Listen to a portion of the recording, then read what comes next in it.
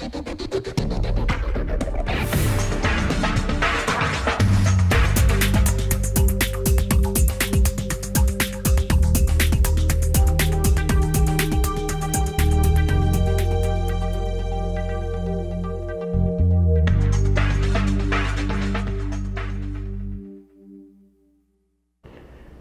again everyone, Tim here from timscomputerfix.net. Today I have a HP all-in-one. It's a Pavilion 23. This is model number H017C. And what's going on with this guy is uh, we're just not getting any power at all. And uh, if you look on the back here, we're plugged in, no problem there. There's usually a little green light or a charging light or a, a, power light here showing that it's plugged in. I'm getting nothing there and if come around and look here I've got it I've got it plugged in and I have uh, I've tested the power adapter and I'm getting 19 volts no problem there um, but we press our power and we don't get any likes, any activity, anything at all. Um, not really sure what's going on with that, but what we're going to do is uh, strip this thing down and we'll find out and we'll take you along for the ride. Okay, so what we're going to go ahead and do here, we're going to just lay the computer down on its face and I've got these rubber mats here to protect the front surface of it. Alright, what we're going to go ahead and do here, there are two screws on either side here we're going to go ahead and take off.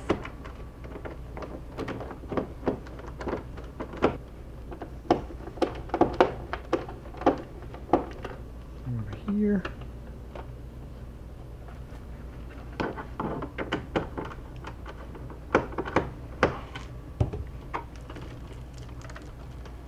Okay, we take these, start loosening these screws, you can see where it's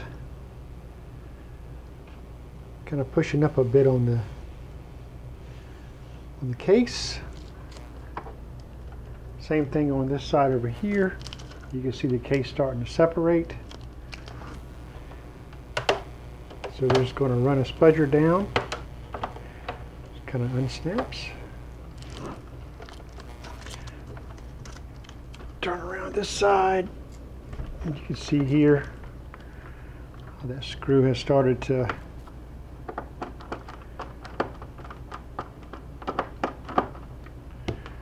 separate here take our spudger just kind of unsnaps. Yep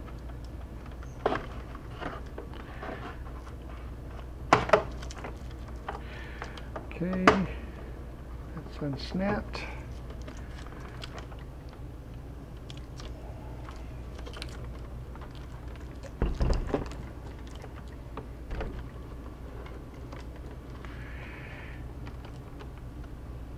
Stand it upside right. So we're loose down here now. Come down on this side.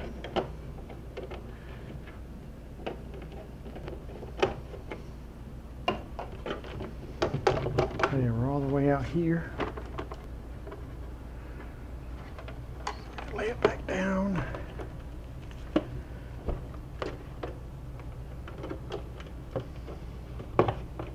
You don't want to pry up on it, just trying to unsnap it. There we go. And that comes off like so.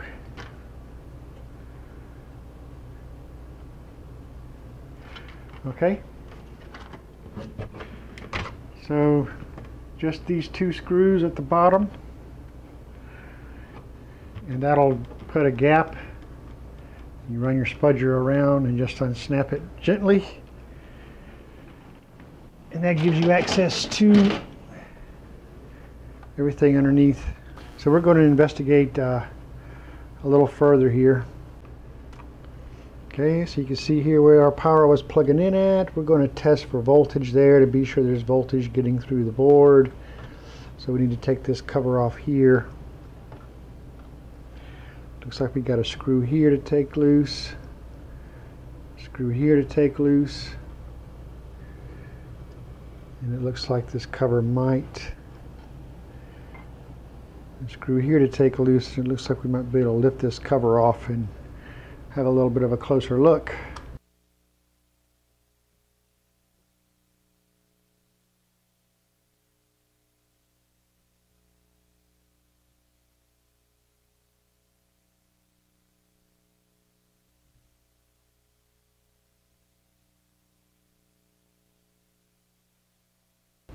So a little word of warning here. Once you get these three screws removed, you may feel a bit of tension like something's not giving way.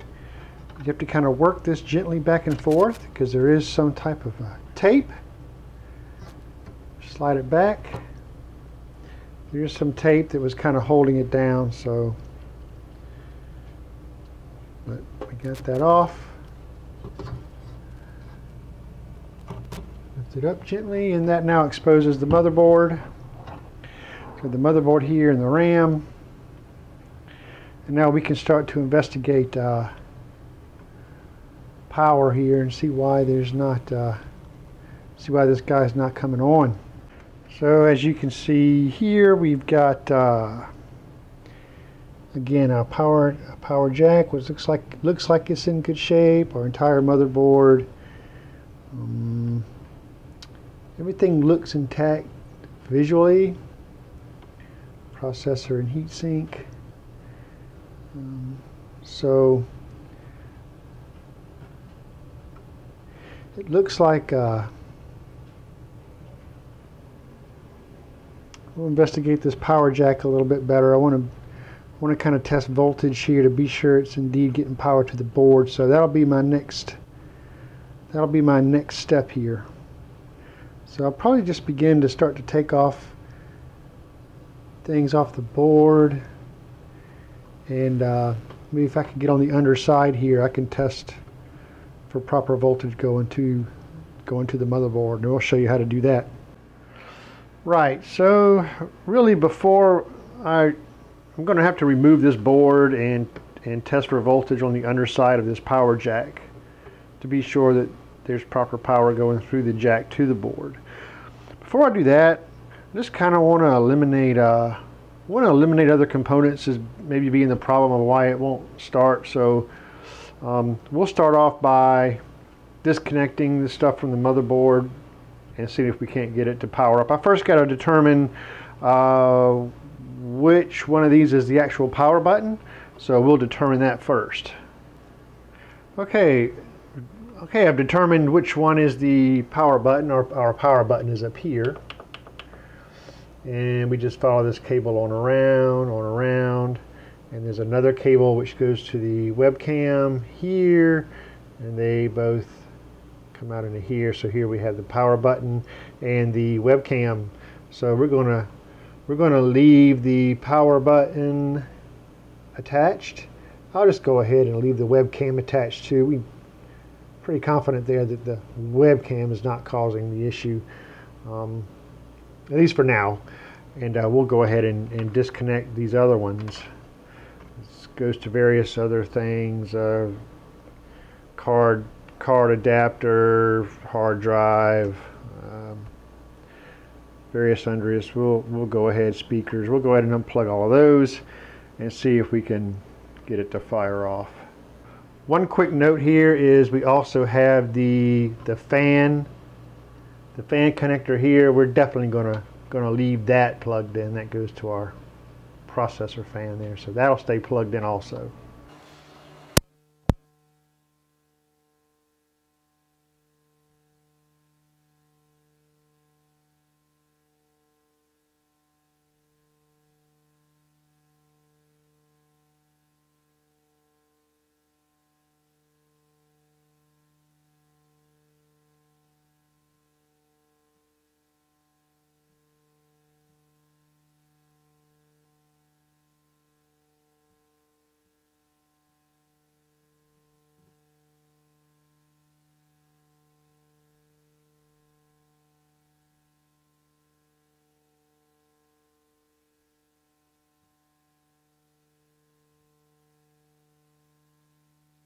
So I've got everything removed from the board. I've opted out of removing the speaker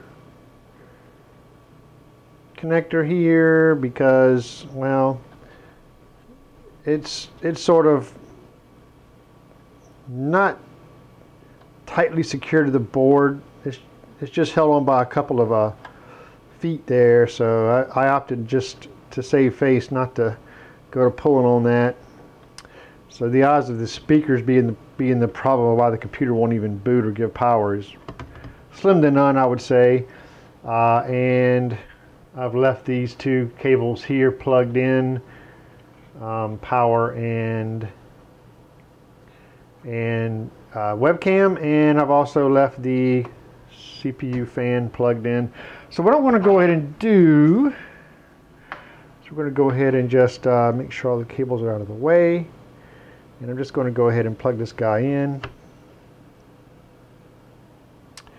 And getting no motherboard lights at the moment, of course. We'll expect two. Let's see. So uh, I'm just going to reach over here and press the power button. And we have nothing. Nothing, nothing, nothing. No power. Let me unplug it. Let me pull this memory out, this memory slot here out. Just for giggles. Plug it in.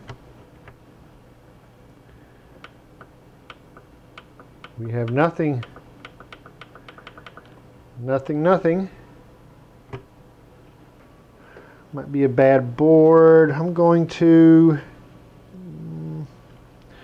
I'm going to remove this board, flip it over, and see if we can't measure voltage off the power jack and that'll be if we're getting voltage to the power jack through the jack to the board I measure voltage again to the power adapter itself. I'm getting 19 volts. I mean there's a there's a possibility that it may not be getting enough amperage um, but I can test that theory with another adapter. Um, odds are that the adapter is okay so uh, pot, there's a center pin there on that adapter that sends a signal to the board on some HPs. That's what the center pin's for. It could be a slight possibility that uh, that signal's not being sent. I'm just thinking out loud. So let's uh, let's see if we've got voltage to the board. Okay, looks like to get the motherboard off here. There's of course motherboard screws.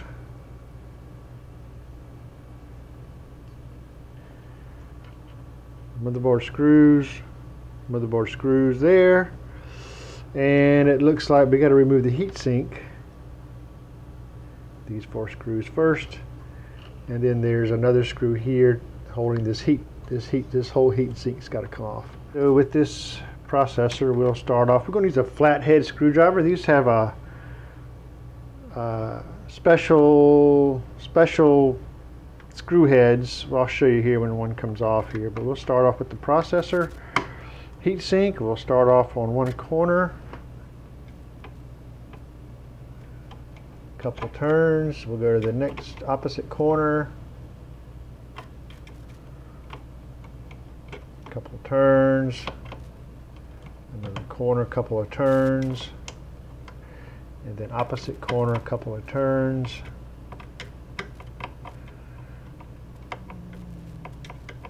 Yep.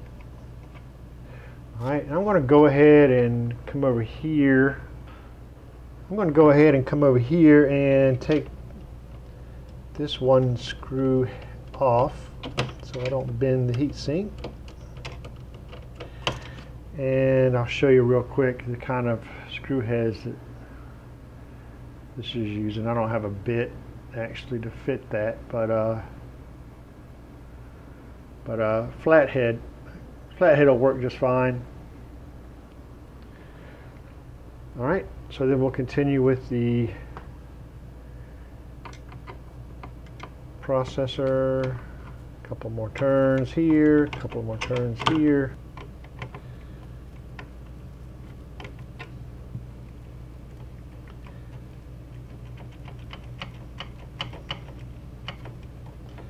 Yeah, so that thermal, that thermal paste is, that thermal paste has gotten this guy pretty much adhered. Here it goes. Notice how I wasn't pulling up on this end. I was just pulling up dead center. I don't want to bend the heat sink. I mean, hopefully I can bring this back to life, but if not, we'll investigate what maybe another board may cost, possibly. Don't know. So take that off, and there we go. There's our heat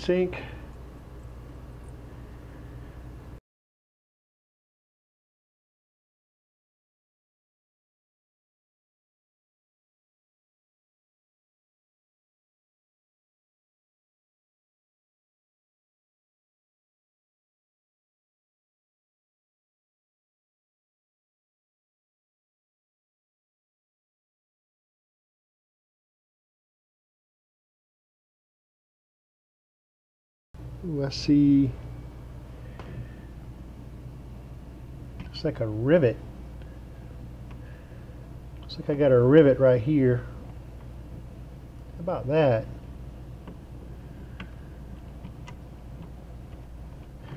Eh, there's a plastic screw head. Interesting, right next to the memory. Huh this required to be removed.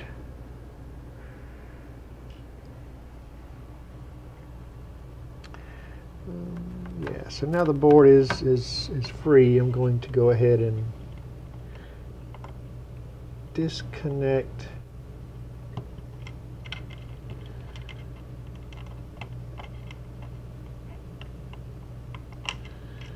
those two cables there.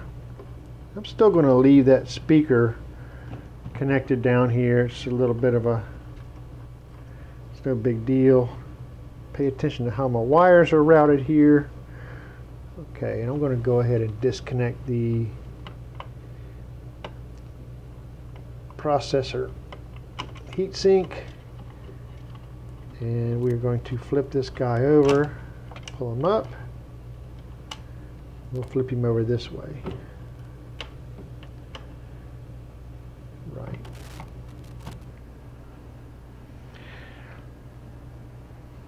Okay, so directly under here, there's our power jack. And you can see here, this is how it's soldered to the board. So we're going to put a voltmeter here. First I'm going to check to see, test for positive, negative, and uh, positive, negative. We're going to see which ones are positive and negative. We're going to check for ground, which ones are the ground ones, so I know which which lead to, to test. Um, sort of a sort of a different, strange type of a power jack going to a motherboard. Um, so I think if I determine which one is the negative, then we'll be able to uh, apply voltage and test to see if it's getting proper power. Since I'm not able to actually move the board because of this cable here that I just that I opted to keep plugged in. You can unplug that if you feel comfortable doing so. I'm going to just lay down an anti-static uh, mat here so I can rest the board on top of that so I don't short anything out when I apply power. All right, so let's see if I can get you a closer look and I'm going to test for voltage. Uh, got my voltmeter here. So we're going to test for continuity. Nothing's plugged in. We're going to test for continuity. I need to find out which one of these leads. There are several of them probably that are negative. Which ones are negative is what I want to know right now. So, okay. So when I need to determine is is which one of these legs that come through the board is is a negative lead. Uh, a good way to do that, I mean, if, if you touch a negative lead on a motherboard, any ground on a, on a, on a motherboard or any PCB board is always going to test continuity on all the ground leads around the entire board itself. So I'll give you an example. Um, I can touch any, any, any place where your screws go in are always grounded. So I can touch this screw uh, eyelet and this one and I get continuity. That's a ground lead. If I touch other, so, some of these other components, I get continuity and some not. That means that it's not a negative, it's a positive. Up, oh, there's a negative point there on that little component I found. All right, so you can find negative and positives that way. This pad here is negative. This pad here is positive. Um, that goes the same with any, you can go around to any metal point on the board. This actually copper. Or I'll go over here and I'll touch the back plate to the processor. It's also conductive on the negative side of the board. So that's a good way, you always know negative. So, so with my lead here on this eyelet, screw, screw eyelet that I know is negative, I'm going to go around and touch the feet where the power jack is to determine which ones are negative. Okay, so there's a. And there's a negative. Okay, so I would probably say that's a positive.